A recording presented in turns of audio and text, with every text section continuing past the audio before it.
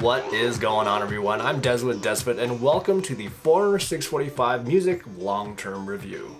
So just like all my other reviews, I tested this device long-term over the span of almost two months, using it outside for road running, trail running, mountain biking, road biking, stand-up paddleboarding, but I also made sure to take it inside to the gym where I tested weight training, high-intensity interval training, swimming, the rowing machine, and even the stair mill.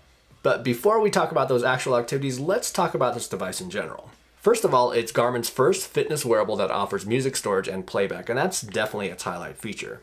It's going to offer a nice balance between a mid to advanced level fitness tracker as well as including some smartwatch features.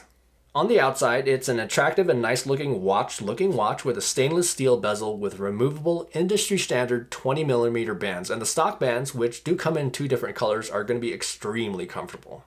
However, I'm not necessarily a fan of the silver bezel, and I'm a bit disappointed to not see a gunmetal color option like it's available on the Vivoactive 3, which is incredibly attractive.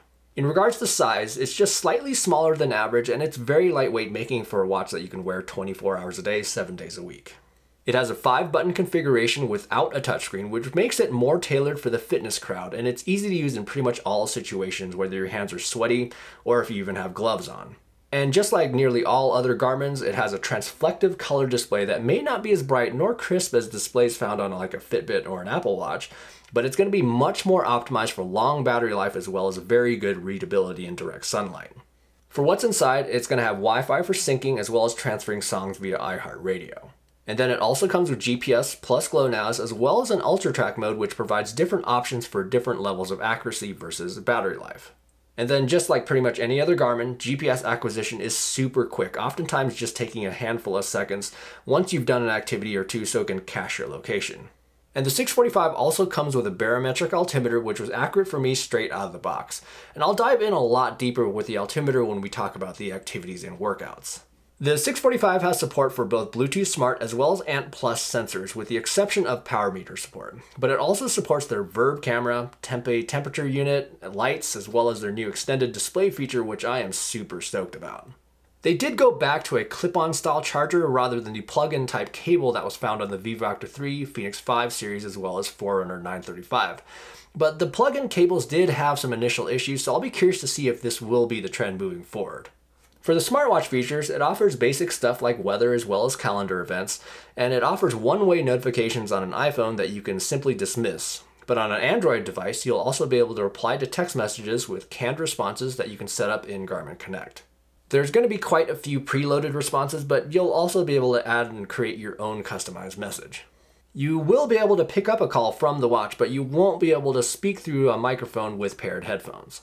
And finally, it does have Garmin Pay and hopefully your bank supports it if you want to use that feature. Now, when it comes to playing music, check out my other video where I talked about it quite in depth, but I'll summarize it as well as add some additional details. It has about 3.5 gigabytes of usable storage for your tunes, workouts, and apps, and then you'll transfer up to 500 of your purchase tracks via your computer using the included charge and sync cable, but I wish you could do it over Wi-Fi like you can do with iHeartRadio. I was able to pair every single pair of headphones that I owned as well as Bluetooth speakers, but there were some that are going to be better than others in terms of a consistent connection. And then wearing the watch on the same wrist as the Bluetooth transmitter on your headphones definitely can help, but just see Garmin's website for their list of tested headphones to get the best compatibility. I do like the fact that iHeartRadio is accessible right in the music widget along with your purchase tracks, where it does have all the standard controls such as playing a single song, all songs, shuffle, and repeat, and you will still be able to get audio alerts like laps and pace during an activity which will pause the music momentarily.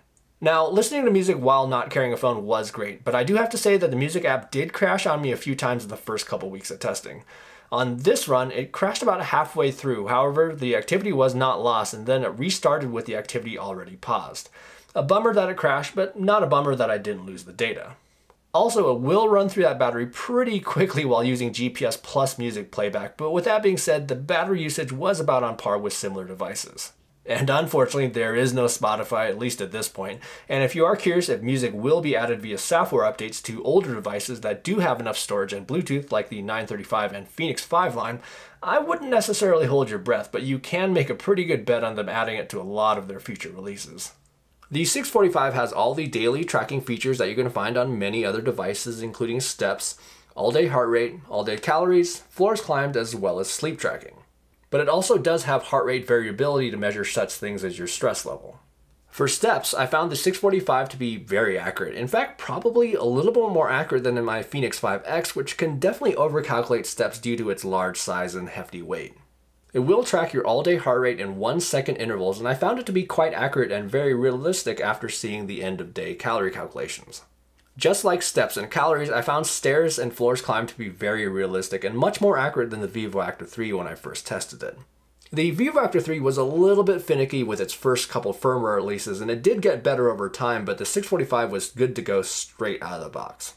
The sleep tracking was quite good as well compared to my other Garmin that I wear daily and everything lined up, but I also made sure to compare it against the Fitbit Ionic which arguably has very good sleep tracking and I'm happy to report that the data was very similar between the two. Alright, with that out of the way, let's talk about the activity tracking and all those fitness features. So first off, it does have Move IQ, which is Garmin's name for automatic workout detection, which I found to work well for walking, running, cycling, but not as much for swimming. But just note that these do not show up as actual activities, rather they show up only in your calendar view, and you do have to do a particular activity for over 10 minutes for this to register. The 645 also offers basic navigation where you'll be able to load courses, then you can use an old activity to trace your path, and then you can also mark a saved location. In terms of the actual activity profiles, Garmin trickled down a lot of these from the upper end models, adding pool swimming, as well as other not so common sports like skiing, snowboarding, as well as rowing and paddleboarding, so this is very much a full featured device. But it does not have multi-sport nor triathlon modes, nor does it have a golf profile. And then again, similar to more upper end Garmin's, you're going to have an insane amount of customization that you can do with the data pages and the screens that are going to be available. And there's going to be an option for automatic scrolling of all of that data. You're going to have plenty of options for alerts, including heart rate, pace, distance, and tons more. And there's also going to be a metronome option for running, as well as automatic features such as laps, auto pause, and the previously mentioned auto scrolling of the data fields. And then finally, you'll be able to change the background from black to white, and you'll also be able to choose an accent color. So I did manage to test quite a few activities, and feel free to pause at any time to get a really close look at any of the data screens, but let's first start with running. Now for running, it does a fantastic job with GPS as well as heart rate. It tracked pretty much every metric very well, including stride length, all the mile splits, pace, as well as heart rate, but you will see some minor discrepancies compared to a chest heart rate strap. But nothing bad by any means and was very comparable in regards to average and max heart rate. Cadence was very good for the average, but I did see one spike on this particular run, but this sometimes occurs with a lot of other wearables, and we will see this with my test device in the next example. For trail running, again, very good for distance, very good for stride length, very close on splits as well as pace over the course of the entire run. Average and maximum heart rate were actually quite close to the chest heart rate strap, even though there are going to be more discrepancies in the graph over the course of the run. Cadence was spot on, but here's where you're going to see the cadence spike in my other test device. Lastly, elevation was spot on, and don't be fooled by the difference in the height of the graphs. That's just kind of how they look on Android versus iPhone. So after doing a handful of outdoor runs, I took the watch inside and the treadmill distances were a little off for my pre-calibrated device, but I have been using that device for almost a year, so it already has learned my running dynamics. However, you can do a manual treadmill calibration after completing at least a mile, or at least what the watch thinks is a mile. Here you can see how the split times were off and behind my pre-calibrated device, and then for heart rate, it was very good for average and max, but it did have a few discrepancies in the heart rate. And then finally, there's going to be a solid data set for cadence, and it totally nailed it in that department. Now, the 645 has a built-in workout for intervals right on the watch itself, which is going to be super handy, and you can even edit the sets on the watch itself without having to use your smartphone nor computer. Now, this works really well for outdoor activities, but I did also try this on the treadmill. It wasn't quite as sensitive tracking pace than my pre-calibrated device, which is fairly precise after almost a year of use. Now for heart rate, when compared to a chest heart rate strap, you'll notice again a little less sensitivity at the beginning, where it took a little bit to pick up the rise, as well as the end, where it was a little bit behind tracking the fall in heart rate. So for this first road ride, you'll see that nearly everything lines up with two other test devices, but you'll notice that my Fenix 5X actually was a little bit short with the elevation figures, pun intended. Average and maximum speeds were very accurate across all three devices and here's an up close look at the elevation numbers and you can see that the starting and end elevations were all relatively close to each other so my Fenix was the one that was actually a little bit off on that ride.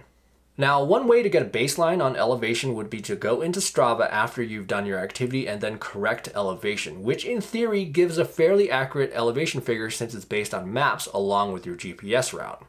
And then after doing this, it yielded an elevation of 1,389 feet versus the 1,378 captured by the 645. So the altimeter is pretty darn solid. So the speed graph was good to go between all three devices, but now let's check out the heart rate. So it was very solid for the average and an overall very comparable chart except for one larger drop and spike in heart rate around two thirds of the way through. And then for the elevation graph, nothing out of the ordinary here and compared very well against both other devices. For this next example, again, all very good compared to two other test devices and produced a solid map as well as average and maximum speeds. Elevation, again, was actually more similar to the altimeter in the Garmin Edge 1030, which theoretically should be more accurate than any wrist-based altimeter. And after an elevation correction in Strava, we will see that line up very close to the 645. And then with heart rate, I was extremely happy with what I saw, although it was just slightly off for the max heart rate. So for road biking, I was actually quite impressed with the heart rate that was collected because cycling isn't exactly a strong suit for a lot of wrist-based heart rate sensors. And although road biking was good, now let's talk about mountain biking where things can get a little bit shaken up. Pun intended again. So for this first ride, distance and elevation figures were spot on between all three devices. All the GPS tracks were pretty solid, even on a section that I did three times just to show how they can veer off slightly on occasion. And then the elevation graph shows very similar results as well and it's good to go on average and maximum speed, but now let's take a look at that heart rate. And as expected, it's not necessarily going to be as good as road biking or running, but this isn't terrible by any means for mountain biking. So for this next example, distance was spot on, and my Fenix 5X decided to not have a bad day in regards to elevation, and then all three devices have very similar results. A super solid GPS map, and as we zoom in on some of the tracks, we will see very similar and very good results. And then here's a close-up of the elevation numbers, which were great. And then looking at the heart rate graph, again, not super accurate by any means, but again, not super off either. It actually started out the ride great, then had some issues on the second half of the ride where it kind of trailed off a little bit. So for mountain biking, I was incredibly impressed with the altimeter on the 645, and heart rate definitely wasn't as perfect, but that's kind of to be expected. You can probably still trust the average and maximum heart rates at the end of your ride, but definitely don't rely on it for zone-based training, and that's where you're going to just need a chest heart rate strap, and that can be said for pretty much any wrist-based wearable. Now for indoor cycling, I basically experienced the exact same overall result as road biking, but I do want to show you this particular example where it was quite good for nearly the entire ride, even following the purposeful rise and falls over the entire course of the ride but I did experience one spike when I was standing. But that will change your wrist position and your angle, so that can happen in that sort of scenario. So the 645 does not have open water swimming profiles, but it does have pool swimming where you can choose the length of the pool and then you can trigger laps manually with the lap button. Everything was very much in line for pool swimming and it will provide your SWOLF score, total strokes, average and maximum stroke rate, average strokes, pace, as well as speed, so plenty of data. In Garmin Connect, it will show your laps in the vertical orientation, but if you rotate your phone sideways, you can see a much more detailed information like your stroke type per lap. The pace and the stroke graphs were all quite good to go as well as the SWOLF score. But unfortunately, it does not collect heart rate in the water, so I'm not comparing those metrics. So while we're talking about water sports, I also took this stand-up paddleboarding since it does have that profile built in and the distance that it collected by GPS was good to go, even with making some circles here and there, as well as even hanging out on the water for about 20 minutes in the middle of the session. I would highly recommend starting the activity on the ground before entering the water, as GPS acquisition can be a little bit iffy on the water, and I'm not talking about the 645 specifically, this applies to nearly all GPS devices. It will also provide your total stroke count, average and maximum stroke rate, average distance per stroke, as well as pace and speed. Now, stroke rate was slightly off between the two devices, but we are talking about different arms here, and I very well could have been doing a few more strokes on one side than the other, but kind of neat that it does provide this profile as well as the data that it collects. So with weight training, it does come with the strength app that can automatically count reps as well as identify a handful of exercises. You'll be able to edit the number of reps that it did or did not count, and you'll also be able to enter a weight for that set. So it does a pretty good job at rep counting, but doesn't do as good a job identifying the type of movement. But definitely check out my in-depth review of the strength training app, which goes into a lot of detail.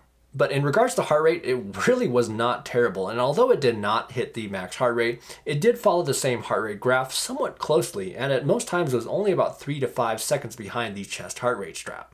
Now, with pretty much any wrist-based heart rate sensor, going into strength training, I pretty much expect not so great results, but the 645 was not terrible, even with higher intensity intervals at the end of the workout. But just like mountain biking, if you need a very accurate heart rate that's updated at that very second, you should probably look into our chest heart rate strap. Next up, I tried the Stair Stepper profile, and I actually really quite like the Stairmill as it's a very low impact activity that has a lot of bang for your buck. But for heart rate, the results were very good compared to a chest heart rate strap and was nearly identical. And then for rowing, it will provide your total strokes as well as average and maximum stroke rate.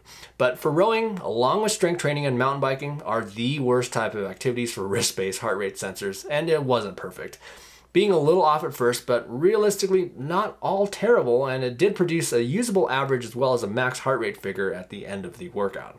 So overall, I was quite impressed with these data that the 645 collected. The heart rate, especially for the more challenging to capture activities like mountain biking, strength training, as well as rowing, was not all that bad. It was much better than the Vivoactive 3 that I tested last year, and I think that could be due to the slightly dome-like shape on the back of the 645, which theoretically would make for better skin contact with the Elevate heart rate sensor. Now there are a couple more things I do want to cover that relate to the activities. First off, you will be able to upload custom workouts that you can build in Garmin Connect on your computer.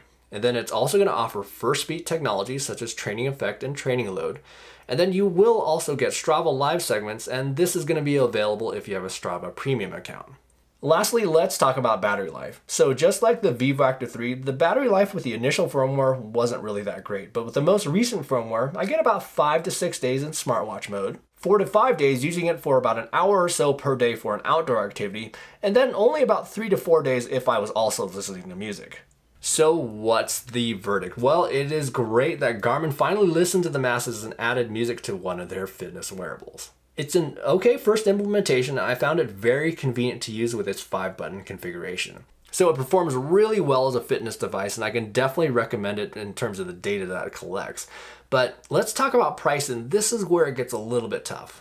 So I see how Garmin priced this strategically in between the 935, 735, and the Vivoactive 3. And I can see those interested in the 935 choosing this if they do not need open water swimming nor power meter support, with it being about $100 cheaper for the non-music version, and then if it wanted music, it would be about $50 cheaper. But where it gets tough is when you're deciding between this and let's say a Vivoactive 3, as well as comparing with other devices that are more famous for music playback like the Fitbit Ionic, Samsung Gear Sport, or even Apple Watch, where it comes north of at least $100 more than those devices. So the 645 is kind of in an interesting place in Garmin's lineup and it kind of splits the difference between a lot of different devices and it's definitely going to be interesting to see how this is going to play out with Garmin's future releases. But overall, I think it's going to be a great device that's going to appeal to a lot of people that will allow people who have always wanted the more advanced fitness tracking of a Garmin, but will finally be able to listen to their tunes as well. So are you going to be getting one? Or if you already own one, what do you think about yours?